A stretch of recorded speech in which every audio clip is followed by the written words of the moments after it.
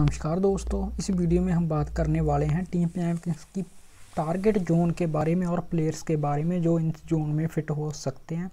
तो वीडियो पसंद आए तो वीडियो को लाइक और चैनल को सब्सक्राइब ज़रूर कर दीजिए। तो चलिए वीडियो स्टार्ट करते हैं।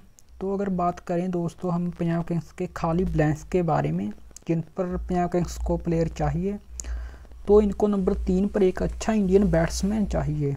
तो दोस्तों, ये जा सकते हैं।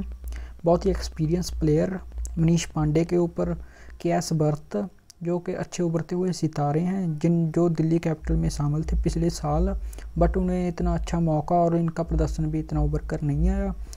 तो इंडिया के उभरते हुए अनकैप्ड प्लेयर रोहन कुन्नूमल के ऊपर पंजाब किंग्स टीम जा सकती है।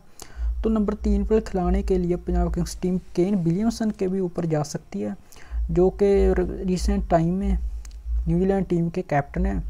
तो 2022 में गजब का प्रदर्शन करने वाले प्लेयर राइली रूसो के ऊपर भी पंजाब किंग्स टीम जा सकती है तो 2019 के बाद गायब हो जाने वाले प्लेयर केदार यादव जिनका प्रदर्शन बिल्कुल भी अच्छा नहीं रहा 2019 वर्ल्ड कप के बाद उन पर भी पंजाब किंग्स टीम जा सकती है तो दोस्तों इस लिस्ट में मैं सरप्राइज़ एंट्री करने वाला हूँ टीम पंजाब किंग्स के 2022 के कैप्टन मैक अग्रवाल की।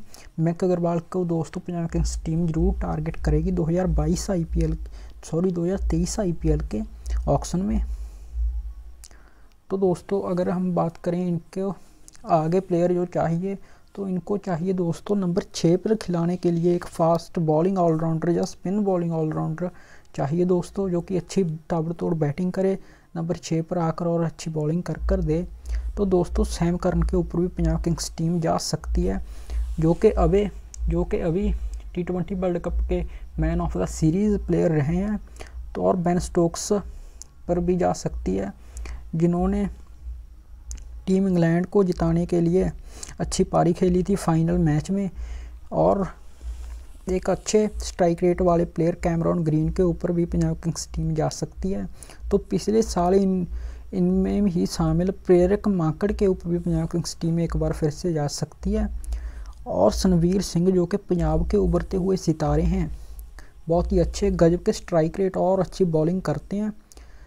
बहुत ही लंबे लंबे छक्कों के लिए जाने जाते हैं इन पर भी पंजाब किंग्स टीम जा सकती है। और साकिब अल हसन हो चुके हैं, जो कि अभी रिसेंट टाइम में इंडिया बांग्लादेश सीरीज़ में अच्छा प्रदर्शन कर रहे हैं। इनके ऊपर पंजाब किंग्स टीम जा सकती है। और 2022 के बेस्ट ऑलराउंडर में से एक सिकंदर रजा इनको भी पंजाब किंग्स टीम 2023 आईपीएल के ऑप्शन में बाय कर सकती है। तो दोस्तों, इनको फास्ट बॉलिंग और स्पिन बॉलर भी चाहिए पंजाब किंग्स टीम को। तो पंजाब किंग्स टीम देख सकती है। जोसवा लिटिल की तरफ़, जो कि अच्छे बॉलिंग जो कि अच्छी बॉलिंग करते हैं तो देख सकती हैं बैब अरोड़ा की तरफ़, जो कि पंजाब किंग्स टीम का ही हिस्सा थे आईपीएल 2022 में। तो पंजाब किंग्स टीम ने इनके ज़्यादा प्राइस पॉइंट के कारण इन्हें रिलीज़ कर दिया। और ईशांत शर्मा, जो कि एक बहुत ही एक्सपीरियंस प्लेयर हैं रीज टोपली की तरफ़ देख सकते हैं पंजाब किंग्स टीम जो कि अच्छे इंग्लैंड की तरफ़ से आने वाले फास्ट और रिवर्स स्पिंग बॉलर हैं। और मैट हैनरी की तरफ़ देख सकते हैं, जो कि काफ़ी एक्सपीरियंस प्लेयर हैं। बी करियप्पा की तरफ़ देख सकते हैं, जो कि विजय ट्रॉफी के हाईएस्ट विकेट टेकर हैं। और दुष्मंता चमीरा, जो कि श्रीलंका की तरफ़ से बेस्ट बॉलर हैं। ये लखनऊ सुपर जाइंट का हिस्सा थे। इन्होंने अच्छी बॉलिंग की थी, फिर भी मुझे समझ नहीं आता लखनऊ सुपर जाइंट ने इन्हें क्या रिलीज़ किया? तो स्पिन बॉलर में पंजाब किंग्स टीम आदिल राशिद को एक बार फिर से टारगेट कर सकती है।